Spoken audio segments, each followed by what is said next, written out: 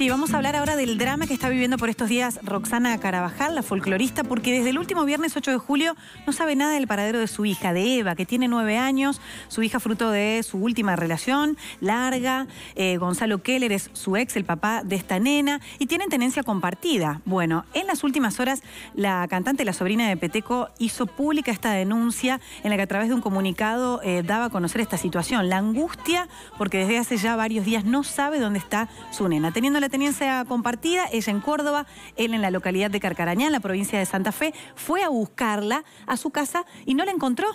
Cuando se acercó al domicilio de su expareja, vio y pudo constatar que algunas de las pertenencias de su nena y de su ex no estaban en el lugar.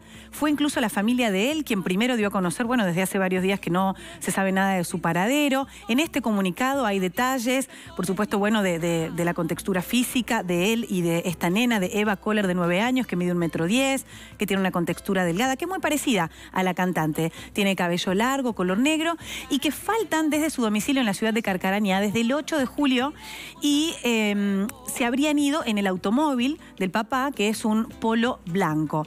Ella ayer, Roxana ayer hizo su descargo, eh, por supuesto, a través de los medios pidiendo que esta cuestión se viralizara. Está ella ahora en este momento allí en la provincia de Santa Fe tratando de, eh, junto con, las autoridades provinciales, darle, eh, digamos, alguna noticia que él, ella en el comunicado dice, por favor, a Gonzalo, que está todo bien, que se comunique con nosotros si se fueron de vacaciones no hay ningún problema. Eh, reiteramos, ellos tenían una muy buena relación, hace seis años que se separaron y en estos seis años tanto Roxana como eh, Gonzalo tenían un tiempo cada uno, bueno, eh, obviamente que combinando las cuestiones profesionales para que la nena pudiera estar con ambos papás. Ella fue a buscarla y no la encontró. De esta manera lo contaba, muy angustiada. Principalmente porque necesito ya que, todo esto se amplíe a nivel nacional, de que, de que mi hijita Eva este, aparezca.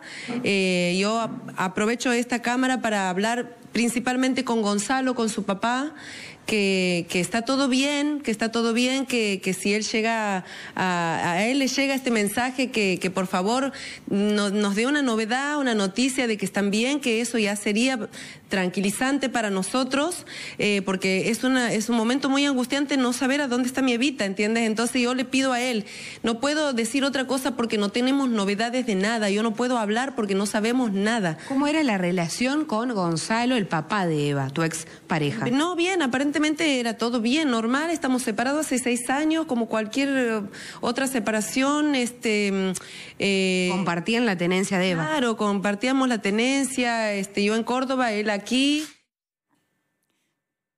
Estamos en comunicación telefónica con Roxana, que está allí en la provincia de Santa Fe. Eh, Ro, te saludamos, imaginamos los momentos de angustia que estás viviendo como mamá. ¿Tenés alguna novedad del paradero de, Eva? ¿Cómo estás? Buen mediodía. Hola, no, no tengo todavía nada, ninguna novedad y ahora estoy yendo justamente en viaje hasta Casilda, que tiene el caso aquí en Santa Fe, hacia la Fiscalía, así que bueno, atenta muy atenta y esperando. ¿Cuáles son los pasos a seguir en estas horas claves? ¿Qué, van a hacer en este día? No, no sé nada. Yo por eso es que no, no podía hablar mucho porque justamente voy a eso, voy a eso, a que a que me cuenten cómo viene la cuestión y esperando, esperando yo con toda la confianza de que, de que en cualquier momento ya tiene que, aparecer. Te hago una pregunta, eh, Roxana, ¿tu hija no tenía celular? ¿Vos no tenías una comunicación directa con ella? No, no, no, toda la comunicación siempre ha sido con a través del celular de, Gonzalo. Bien. Em, y, en las últimas horas vos dijiste que tenías una excelente relación con Gonzalo. ¿Hubo alguna discusión, hubo alguna conversación que haya podido generar que él no te avise si tomó la decisión de irse de vacaciones? No, no, no, no, por eso, no, no, este, lo mismo que vengo diciendo, que vengo contando todos los últimos años han sido re bien, de encuentros para intercambiarnos, eh, con mucha tranquilidad, mucha armonía. Eh, así que bueno, no sé qué decirles, chicos. Roxy. Ana Martínez, te saluda. Te quiero hacer una consulta. ¿Vos has intentado comunicarte al, al celular de Gonzalo? ¿Te da pagado? ¿No te responden los llamados? ¿Lee los mensajes? No, no, claro, no. Si no, ya lo hubieran rastreado con el celular, eso lo tiene apagado. No, no, no. No, no. No hay, no, no tiene. ¿Y esto qué te hace pensar?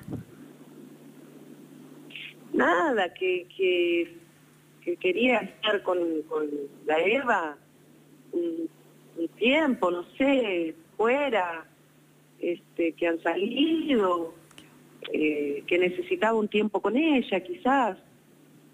a lo largo de este tiempo, Roxana, eh, la, la- la tenencia obviamente era compartida, pero se quedaba ella una semana con él y otra semana contigo. Nunca hubo problemas, nunca hubo una situación parecida a esta de que se desaparezca así como porque sí. Claro, no, así no, sí, problemas como todos. Sí. Está, bueno. Tremendo, tremendo. Sí, ojalá que... Bueno, te mandamos todo el cariño de aquí desde Córdoba, Noticiero 12, y ojalá que esto Claro. pase pronto. Imaginamos Ah. como mamá cómo te sentís, ¿no? Eh, Roxana, Sí, muchísimas gracias.